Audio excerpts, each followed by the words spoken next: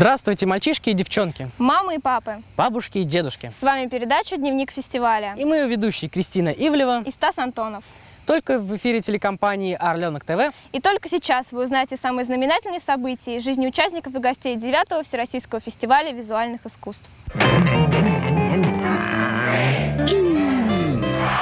Целый год напряженно трудились, искали, отбирали, творили.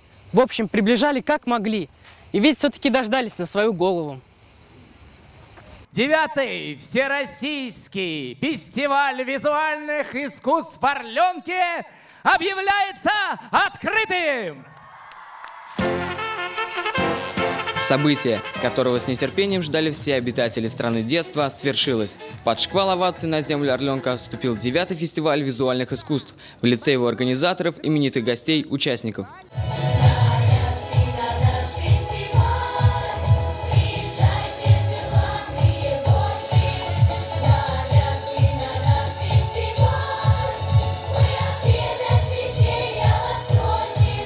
Некоторые известные люди на праздничной феерии выступили в непривычной для всех роли. Например, песенную эстафету президента фестиваля Дмитрия Харатьяна приняли телеведущий Сергей Шустицкий и поэт Александр Шаганов, который, к слову сказать, на публике поет редко, даже свои песни.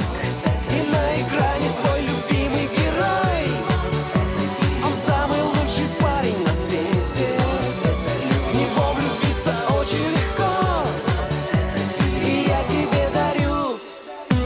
какой праздник без фейерверка? Красочный дождь стал яркой финальной точкой в церемонии открытия фестиваля. Впереди целых 9 дней напряженной работы, творчества и новых впечатлений.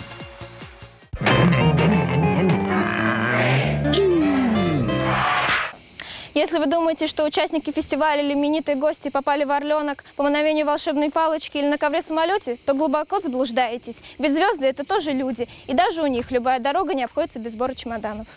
Ехали-ехали и, наконец, приехали на 9-й Всероссийский фестиваль визуальных искусств представители СМИ, кинематографа и анимации. Добрались замечательно, самолет приземлился ровно, ехали на автобусе, чуть поплутали.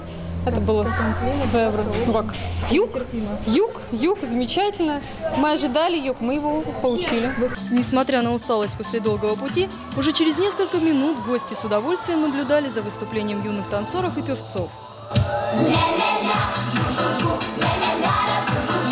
секрету всему свету, что случилось, расскажу. Ля-ля-ля, жу-жу-жу, ля-ля-ля, жу-жу-жу. По секрету всему свету, что случилось, расскажу. Тяжелая дорога не повлияла на настроение гостей. Всех переполняет масса положительных эмоций, ведь впереди у них плодотворная работа и активный отдых.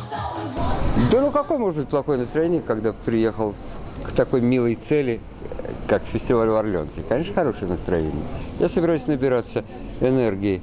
И страшно надеюсь, что какая-то часть моей творческой энергии поможет детям понять, в каком мире они живут. Хочу, во-первых, посмотреть э, то новое, что сюда привезли, какие новые программы, фильмы, проекты, посмотреть на детей, пообщаться. Очень жду живого общения с орлятами. Как оказалось, Орленок для гостей – это не только место проведения фестиваля, но и целый этап их жизни. Я еще в 63 году здесь был комсомольцем, да, и в 63-64, а потом несколько лет работал здесь вожатым. Поэтому для меня это просто мир моей юности. Я бы переименовал э, Всероссийский детский центр Орленок, я бы переименовал сказочная страна детства Орленок. То есть это вот какая-то такая сказка детская, где вот то, что называют настоящее детство, можно почувствовать, что же это такое. Все трудности фестиваля еще впереди, а пока у его гостей есть совсем немного времени, чтобы насладиться всеми прелестями Черноморского побережья. Елизавета Сидорова, Олег Гилев, телекомпания «Орленок ТВ».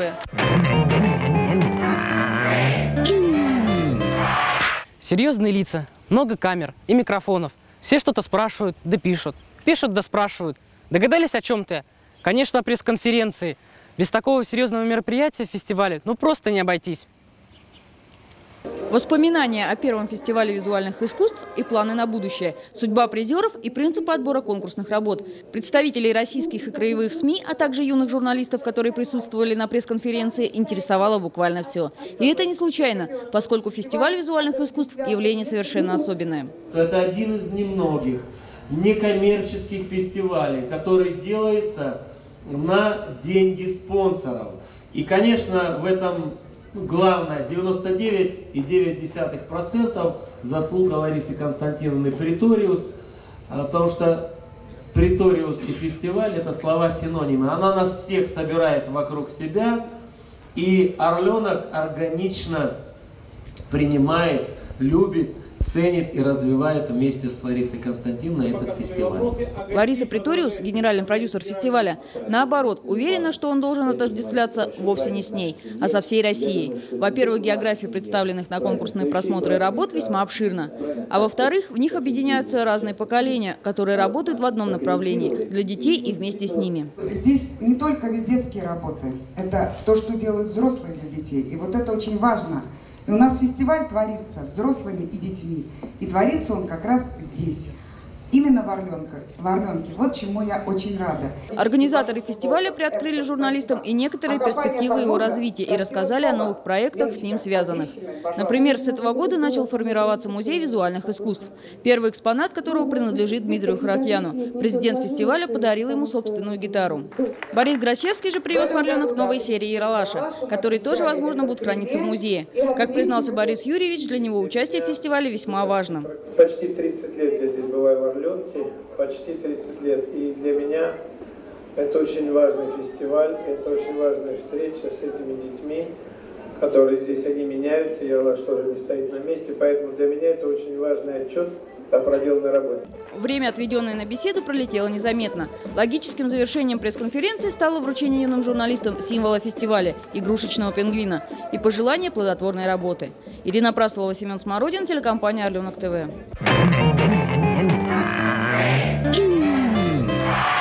Девятый по счету раз. Работа началась в 9 часов утра – 2. Представлено 9 номинаций – 3. 9 числа день рождения у сына президента фестиваля 4. И участников-то всего в начале было 90. Прямо мистика какая-то. А о чем мы с тобой вдруг? Да так, проводим ассоциации с линейкой открытия фестивальных номинаций. Работа фестиваля визуальных искусств началась с раннего утра, за несколько часов до официального старта. На площади Звезды Всероссийского детского центра прошла линейка открытия конкурсных номинаций. Кстати сказать, за всю историю существования фестиваля подобные мероприятия проводятся впервые. Поэтому не обошлось без напутственных слов и пожеланий каждой номинации в отдельности и фестиваля в целом. Я хочу пожелать творческих успехов, я хочу пожелать новых открытий, новых радостных, светлых ощущений, новых имен в творчестве. Я тоже желаю фестивалю всего самого доброго. Но самое главное, я хочу, чтобы вы взяли каждый свою высоту на этом фестивале. Среди гостей, которые пришли на линейку, много известных людей. Например, телеведущий Евгений Агошков и Дмитрий Хаустов, киноактер Валерий Еременко. Здесь же и будущие звезды большого кино, юные актеры, которые снимались в главных ролях в некоторых конкурсных работ. Я буду надеяться, что наш фильм чем-нибудь займет. Конечно, соперники достойны и буду надеяться на победу, хотя бы на призовое место. Как и любое дело в Орленке, линейка открытия номинаций была насыщена творческими сюрпризами, стихами, песнями и танцами.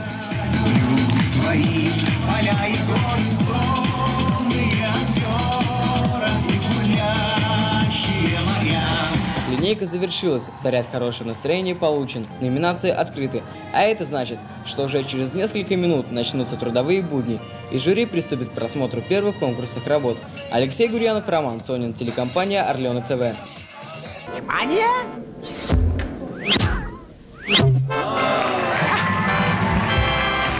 Может, продолжим игру в числа? а? Загадаю, например, 7. Проще простого. Семь цветов радуги, семь лагерей в Орленке, цветик-семицветик и великолепная семерка. Не вижу связи. Тогда раскрой глаза и смотри. Великолепная семерка или что, где, когда по-орляцки. Эта игра стартовала на фестивале нынешним летом впервые, но обещает стать доброй традицией. Идея устроить подобное состязание для умов родилась совсем не случайно. Мы каждый год сюда приезжаем и понимаем, что мы можем дать что-то большее детям, привести каких-то более интересных конкурсов, чем просто поставить компьютеры, на которых работают, потому что через компьютеры все-таки проходят, наверное, не все 100% детей, могут на них поработать и поиграть, и поэтому мы решили как-то что-то еще придумать, еще какое-то мероприятие, и вот придумали такую. Свои интеллектуальные способности за игровым столом проверяют команды всех семи лагерей центра по очереди. И не только в качестве знатоков. Вопросы для великолепной семерки приготовлены юными умниками и умницами из числа орлят. Между прочим, найти правильный ответ по силам не каждому. Команду-победительницу ожидает весьма приятный подарок – поездка в дельфинарий. Кому он достанется, пока неизвестно, но шансы на победу есть у всех. Алексей Гурянов, Роман Сонин, телекомпания «Орленок ТВ». Внимание!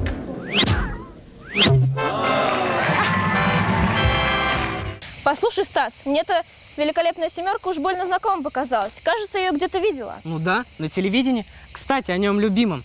Из достоверных источников доподлинно известно, что все наши юные телевизионщики смотрят совсем неразвлекательные передачи. Все может быть, уж скучать им точно не приходится. Работать с коллегами по судейству – одно удовольствие, признается председатель жюри номинации телевидения Дмитрий Хаустов. Ребята подобрались хорошие, говорит он. Буквально с первого взгляда улавливают все нюансы работ, которые заявлены на конкурс. У меня очень хорошее жюри, детское жюри, которое очень компетентно, дает очень э, взрослые оценки, и они абсолютно понимают то, о чем они говорят. И очень приятно, что э, их суждения м, по поводу той или иной программы, они достаточно полные, и они, я думаю, выберут действительно лучшую передачу в этом году. Задача, которая стоит перед ребятами, не из легких. Им нужно выбрать самую интересную передачу для детей, которую делают взрослые. Звездочка государственной телекомпании «Чувашия». От чего, почему, московского канала ТВЦ «Центр». Всего более 20 работ представлено на суд ребят. Мне показалось все, в принципе, достаточно интересно. А, на данный момент, э, конечно, я для себя выбрала лучшие какие-то а, передачи. На, э, на данный момент, как бы, э, у меня их получилось как бы две, которые мне более интересны. Но я так послушала высказывания других и моей Мои высказывания пока не совпадают с другими членами. Передачи все яркие, это что-то новое, но некоторые были скучноватые. И э, критерии, которые мы для себя выделили, я считаю, что по многим параметрам эти передачи э, ну, не вполне э, достойны для участия в фестивале. Есть много недоработок. Сходу разобраться во всех тонкостях конкурсных передач, конечно, сложно. Но члены жюри не унывают. Чтобы легче было работать, они используют список критериев, которые предусмотрительно подготовили заранее. Самый первый э, критерий мы выделили актуальность, то есть насколько э, массы нуждаются в подобной программе. Еще мы выделили э, как критерий доступность. Следующий критерий – это работа ведущего. Еще один критерий – оформление и суть. То есть оформление студии – это немаловажно. А еще ребята добавляют, что оценивать постараются беспристрастно и строго. Выбирать самую достойную передачу будут за круглым столом вместе с председателем жюри. К мнению Дмитрия Хаустова, конечно, прислушаются, но последнее слово они оставят за собой. Александра Ушенина, Роман Сонин, телекомпания «Орленок ТВ». Внимание!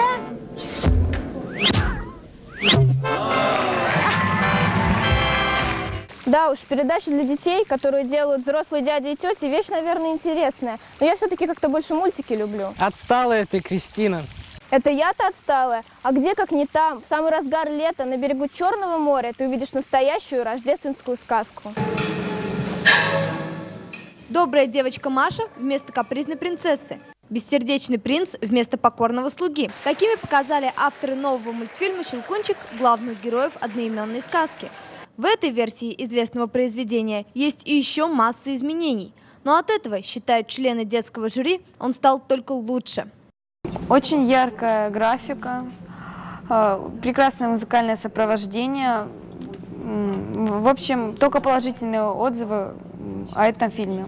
Очень интересные изменения в сценарии, какие-то добавки режиссера. Большинство современных мультфильмов создаются с помощью компьютерной графики и спецэффектов.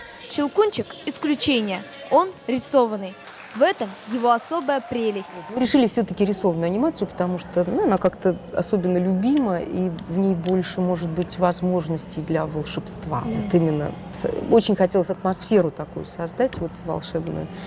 Авторам удалось старую рождественскую историю показать на экране по-новому. А это ребятам нравится. Анимация – это искусство, приносящее детям радость. Сегодня в Орленке анимация дала достойный старт. Будем надеяться, что свои достоинства она продержит до конца смены визуальных искусств. Ушенина Александра, Сонин Роман, специально для Орленок ТВ. Внимание!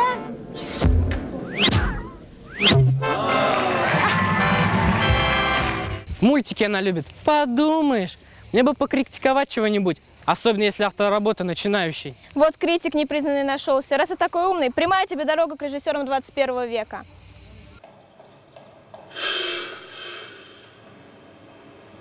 Она идет по пустынной улице, вдруг шорох. Резко оборачивается, и ее лицо искажается от ужаса.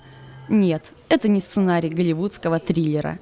Номинация режиссера 21 века, проходившая в зале Дома вожатых, представляет работы выпускников Института кинематографии.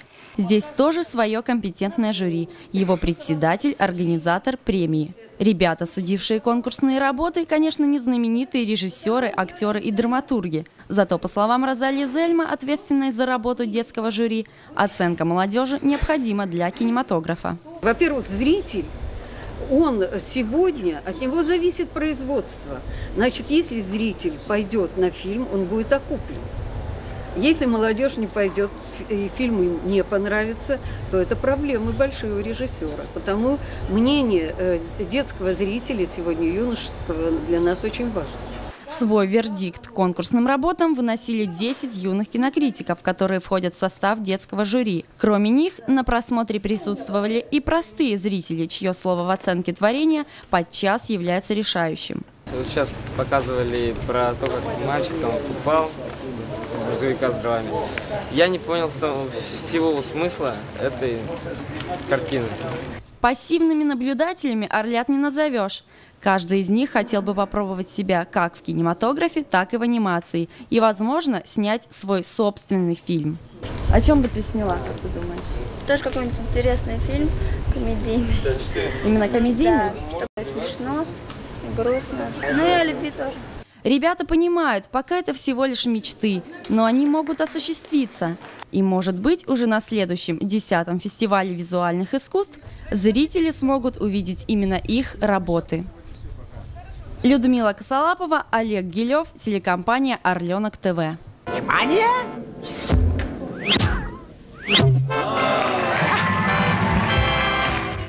Пока он наслаждается своей критикой, чем бы мне заняться? Может, тоже стать режиссером, чтобы он и мою работу разнес в пух и прах? Тогда, может быть, что-нибудь из области высоких материй? Нет, не потяну. Эврика, пойду-ка я на встречу с режиссером-аниматором. Ведь мультики я люблю, может быть, что-нибудь толковое получится. История любви одной лягушки. Так называется новое творение Натальи Добижи, известного режиссера-аниматора. На фестивале фильм представлен в номинации «Анимация» и является собой одно из особых ее направлений – кукольное. Чтобы сделать такой мультфильм, надо порядком потрудиться. Несмотря на трудоемкость процесса, создание таких картин – дело всей жизни Натальи. Кукольная анимация материальная, живая и потому незаменимая, считает она. Кукла объемная, она меня всегда больше привлекала, и я работаю только в, этом, в этой форме. У куклы есть свои минусы. Она менее трансформируемая форма это. Вот, например, рисованная, ты больше динамики можешь. Трансформация на чем хороша? Вот если ты стукнулся о стенку персонаж, он расплющился, а вот в куклах это сделать сложнее. В этом году в номинации «Анимация» будут представлены работы кукольной, а также рисованной компьютерной графики. Здорово, что в наше время место под солнцем имеет каждая из них.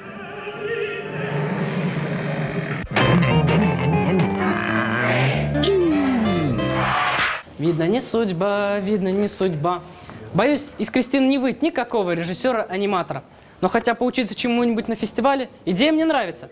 Однако как раз намечается мастер-класс по рекламе. Одно из свойств рекламы – сделать укол в подсознание, заявил будущим ее творцам Павел Коплевич. На своем мастер-классе он не открывал Америки и не покорял горных вершин, а разбирал вместе с ребятами примеры из современной телерекламы. Пытался рассказать о ее специфике и возможностях. Плюс я попробовал э, взывать к их активности, к их активному мышлению. Не знаю, что получилось, но так, по-моему, неплохо. Мне, мне на самом деле было приятно с ребятами.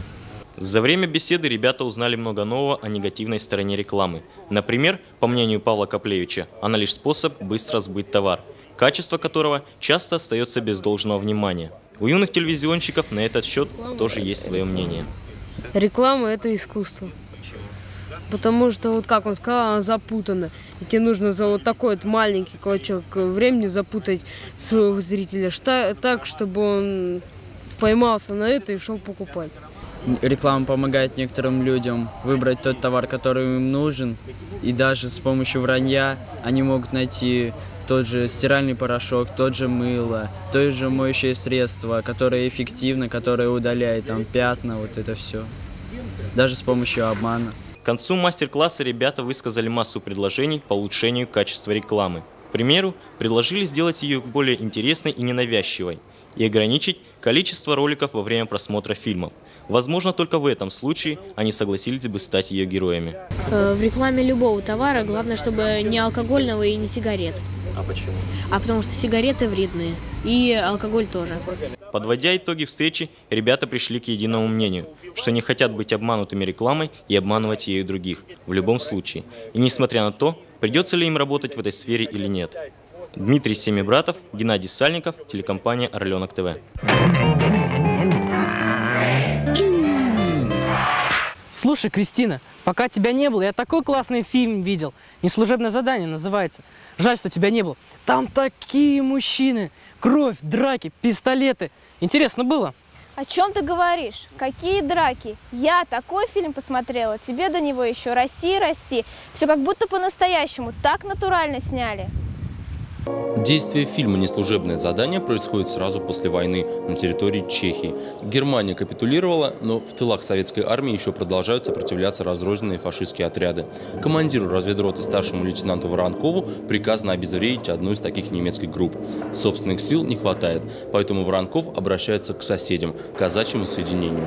Задание поначалу кажется несложным, но рядовая погоня превращается в смертельную схватку.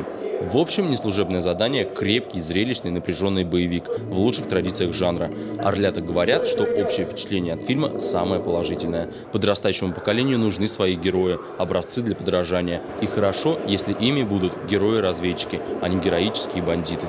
Я даже очень рада, что вроде и 9 мая давно уже прошло, и 60-летие давно отметили. И это очень хорошо, что до сих пор даже летом помнят о, о войне и почитают память тех, кто погиб. Героя следующего конкурсного фильма шестилетнего Ваню, питомца провинциального детского дома, прозвали итальянцем, потому что он приглянулся семье иностранцев. Но вместо того, чтобы отправиться с новыми родителями в солнечную страну, мальчик решает найти свою родную маму. В этом и заключается основная интрига фильма. На презентации картины присутствовал главный герой фильма – Коля Спиридонов. В жизни у него все в порядке, есть мама и папа. Поэтому в роль мальчик вживался долго. Тем более, что съемочной группе пришлось работать в реальных условиях, в самом настоящем детском доме. Ну, фильм очень интересный, нам очень понравился. А, Он как бы о жизни, о такой, которая на самом деле в России происходит. Два фильма, два разных жанра. Несмотря на это, обе картины представлены в одной номинации – кинематограф, и по сути являются конкурентами. За право стать победителем им придется побороться еще с восьмию картинами. Какая именно история окажется ближе строгому и неподкупному жюри, покажет время. Артем Демин, Геннадий Сальников, телекомпания «Орленок ТВ». Внимание!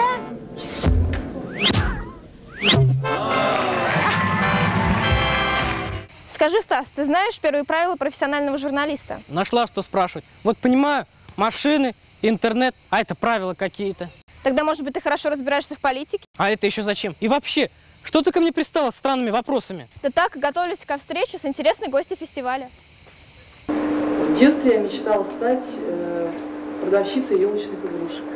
И вот я, я думаю, ой, вот я когда вырасту, обязательно стану продавщицей елочных игрушек. И буду всех поздравлять, буду красиво им давать, э, предлагать покупать там разные там э, сочетания игрушек, там круглых таких и так далее. Ну, вот моя мечта не сбылась. Сейчас Александра Буратаева – депутат Государственной Думы, лидер общероссийской общественной организации «Молодежное единство» и просто очаровательная женщина. Именно такой ее увидели юные журналисты. Культура и образование, средства массовой информации и политика, планы на будущее и личная жизнь – все это охватили в своих вопросах участники пресс-конференции. На каждый из них Александр Мансанджиевна отвечала с большим удовольствием. Помогал ей в этом телеведущий программы «Доброе утро, Россия» Дмитрий Хаустов. Ну, у нас, я говорю, проблема номер один еще с прямыми эфирами, это тоже страна огромная. 8 часов э, разница Имея богатый опыт работы на телевидении, гостья не могла не затронуть эту тему и посоветовала ребятам придерживаться одного из главных правил журналистики. Пожалуйста, готовьтесь всегда к интервью. Записывайте. У вас есть же какая-то там записная книжка. Обязательно идите с э, записной книжкой, где у вас есть какие-то э, краткие биографические данные, какие-то наброски, что вы хотите. Александра Буратаева – человек больших идей, которому не безразличны судьбы будущего поколения и то, чем они будут заниматься. Именно поэтому она советует ребятам относиться ко всему ответственней, верить в себя и в то, что их окружает. К сожалению, всегда э, ребята задают вопрос, а что вы сделали для того, чтобы, а что... И вот нет вопроса, а что нам сделать для того, чтобы... Понимаете, вот такой пассив. Мне очень хочется, чтобы был актив, а не пассив, чтобы не был субъект, а был объект. Разговор получился насыщенным, и время пресс-конференции пролетело очень быстро. Ребята остались довольны общением с Александрой Мансанджиевной и Дмитрием Хаустовым. Они выстраивались в очередь за автографами, ведь где еще, как не на фестивале визуальных искусств, у них появится такая возможность. Елизавета Сидорова, Семен Смородин, телекомпания «Орленок ТВ».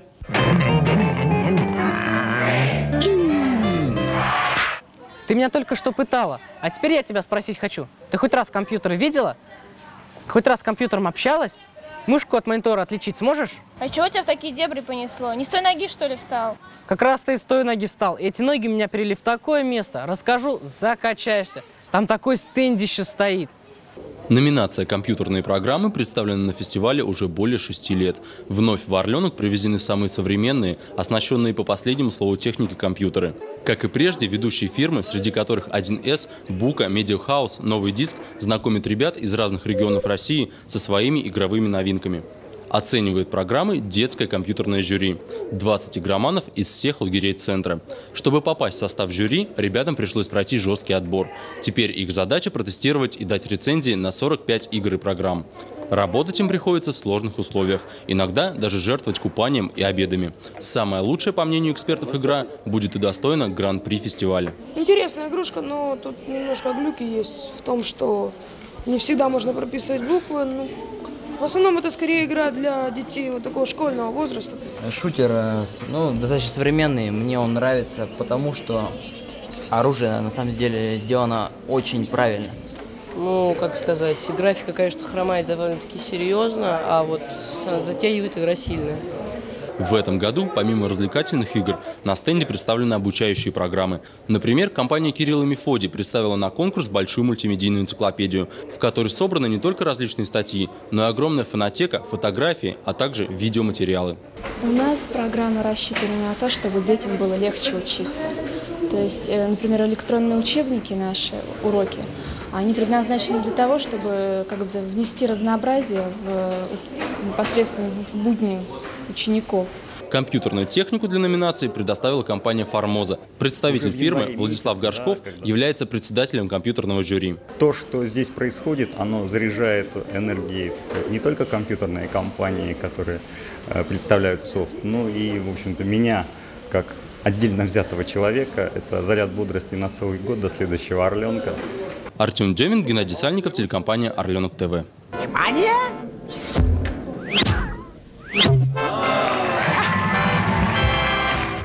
Стас, Стас, смотри, нет, ну ты смотри, смотри, он идет. Ах, какой мужчина! Да что ты вся задергалась? Ты что, на солнце перегрелась? Ты объясни по-человечески, кто это такой. Ну как же ты его не знаешь? Позор на твою седую голову. Во-первых, до седины мне еще далеко. А во-вторых, ну со спины не узнал. Тут столько разных гостей фестиваля ходит.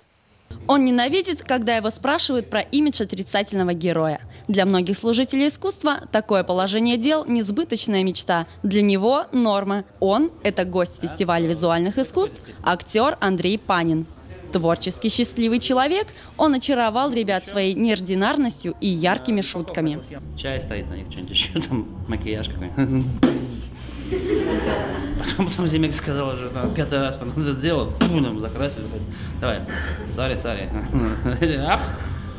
И, когда он самое, Зимик сказал, берите стол. Стол обратно, и сказал слово. Все, так и сказал. Его речь спонтанна, порой неразборчива, но безумно экспрессивна. Поставить одного из лучших современных актеров России в затруднительное положение практически невозможно. На вопрос, какая оценка у вас была по сценической речи, Андрей Панин отвечает. Как-то странно опять. По- Потому что на- на первом курсе мне просто сказали, ну, у меня была Петрова, наверное, один из самых известных профессоров была в Амхате. Она просто долго меня гнобила, потом сказала, что я уезжаю, Панин, в Германию, значит, если ты не поставишь экзамен по сценической речи, то тебе два. Поставишь, посмотрим. У меня не было выбора, я его сделал. А потом она сказала, что у меня просто это нервное. Если я точно знаю, о чем я говорю, то я говорю точно, четко, как бы и, нормально. А во всем остальном есть некая такая бурная, бессвязная речь, но она не говорит о том, что я могу плохо или хорошо говорить, потому что залы, тот же МХАТ, я 10 10 лет проработал, но я на 1200 мест работал совершенно спокойно и больше зал обрабатывал. Просто это значит, что-то не уверен себя чувствую или не уверен, не знаю, что я говорю. Психопатия. Понятия звезды и звездной болезни для Панина не существует. Фильмы со своим участием он смотреть не любит, ведь для этого есть множество других людей. За своим творчеством не слежу. У меня есть на это мама, у нее там культ моей личности, поэтому как бы все нормально. Я даже в бане у мамы повесил большую картину, написанную с меня. Какой-то, это, да, это в бригаде расстреливал э, Безруков из пулемета эту картину вместе с моей квартирой. Она вся в дырках, я в черкеске, в бурке на коне. На фоне Эльбруса там черт что знает чей. Вот в бане висит. В доме не было ну, возможности повесить, потому что сказали, совсем идиот. Но в бане как-то вроде пристойнее. Профессия актера Андрея Панина вполне устраивает. Однако есть у него одна мечта, которой в будущем, возможно, суждено сбыться. Мне хотелось бы быть знаменитым писателем на пенсии, жить на острове. Наверное, это всеобщая мечта. Людмила Косолапова, Олег Гилев, телекомпания «Орленок ТВ». Вот и подошла к концу передача. До свидания, мальчики и девочки. Мама и папа. Бабушки и дедушки. На сегодня все страницы нашего фестивального дневника пролистаны. Мы уходим, но обещаем вернуться очень скоро. Потому что фестиваль визуальных искусств продолжается.